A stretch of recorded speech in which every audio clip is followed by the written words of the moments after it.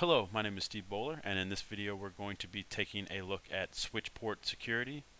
We're going to be taking a look at how to configure switch port security, how to verify that you know we have uh, switch port security set up properly and we're going to just take a look at the different techniques and ways to set up switch port security.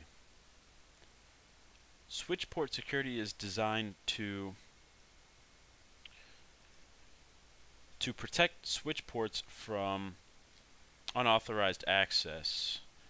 And basically we're going to use it to to deny um, rogue MAC addresses or MAC addresses from you know from from nodes you know like computers servers and stuff from being able to just hook into our switches without you know, without the proper authorization. So uh, switch port security offers a layer of security to all your individual switch ports on your switches.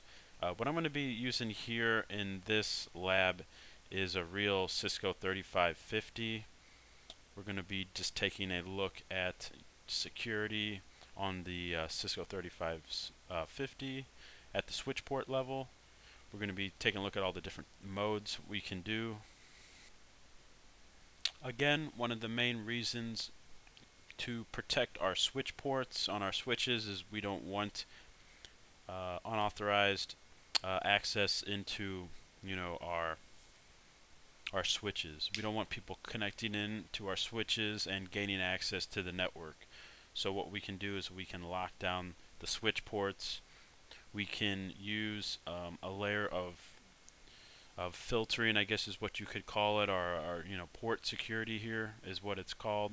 And what we're going to do is we're just going to allow certain layer 2 addresses, layer 2 MAC addresses in this case, to be authenticated and authorized on our switch ports.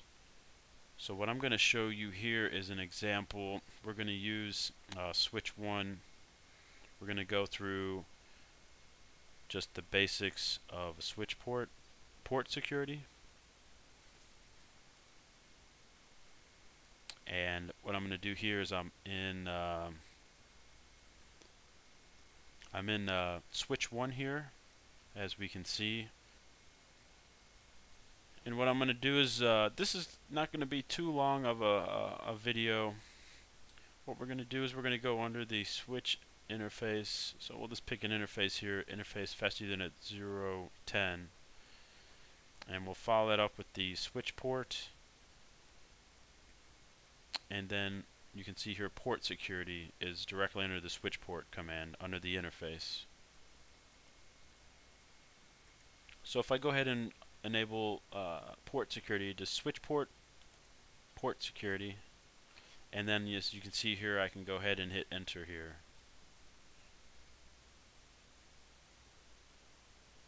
And if I just do this by default the default action uh, well you can see here it says a dynamic port. So let's hold on let's just take a look at this port here. Do show run interface FA010 and as you can see here, if the dynamic trunking protocol mode, in this case DTP, the switch port mode is dynamic desirable, what we need to do is make this switch port either a trunk or an access switch port. So we'll go under here and we'll just make it an access port. So switch port, mode, access, and okay. So now that we have our switch port set up as the in uh, access mode, again, you need you can't have your switch port in desirable or in a dynamic mode here as you could see um, earlier here as a dynamic port. Can't have that action when we're trying to set port security. So we go ahead and put in there switch port mode access. Now if we do a switch port port security and hit enter now you can see that it takes it. So if we do a do show run interface FA 010 now you can see that the switch port